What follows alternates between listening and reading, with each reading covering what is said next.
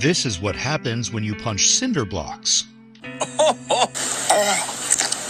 sure that many of you guys have seen videos like this on your For You page where people are punching cinder blocks and breaking them in half. And if you've ever wondered what kind of damage this does to your hand, this is the video that you've been looking for. Quite a few of you guys tagged me in this video here where this guy is showing off exactly what happens to your hand when you punch hard objects over and over again. Put it simply, these are calluses right here on his knuckle, also known as knuckle pads. Calluses are essentially layers of skin built on top of each other, and they happen after overuse. If any of you guys work out, you probably have calluses on this side of your hand that help prevent you from getting blisters. And as you can see from this photo right here, this guy has some pretty sizable calluses, meaning he probably punches bricks on the regular. But for him, this probably doesn't cause any pain at all. These calloused knuckles are also pretty commonly seen with other types of martial arts as well, including kickboxing or just boxing in general.